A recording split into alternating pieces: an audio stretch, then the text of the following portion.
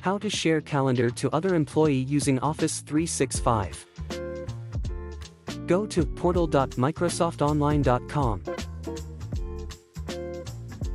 Log into your account using your password. Click on the grid icon on the top left corner, and then select Calendar.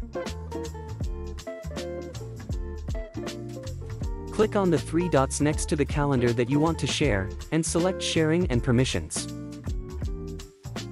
In the Sharing and Permissions bar, enter the email address of the person you want to share your calendar with.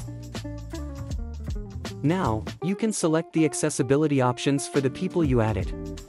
You have the option to allow them to view your calendar with your busy time, view calendar event titles and locations, view all calendar details, edit calendar details, or delegate your calendar. Click on Share after you've entered the email. You should see the person you added appear under Inside your organization. You can make changes to the person's accessibility by clicking here. That's it. You have successfully shared your calendar with another employee using Office 365. Thank you for watching.